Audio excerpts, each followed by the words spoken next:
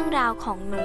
เป็นเรื่องราวดีๆ ที่เกิดขึ้นจากความตาย เพราะสิ่งดีๆ นี้เรียกว่าเมนกรุณา ที่คนในชุมชนของหนู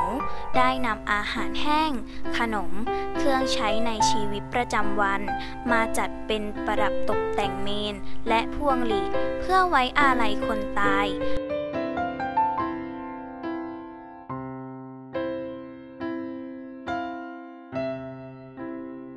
นอกจากฉันจะได้รอยยิ้มจากผู้ร่วมงาน ที่ได้รับสิ่งของเหล่านั้นไปใช้ให้เกิดประโยชน์แล้ว ฉันยังเห็นรอยยิ้มของผู้ให้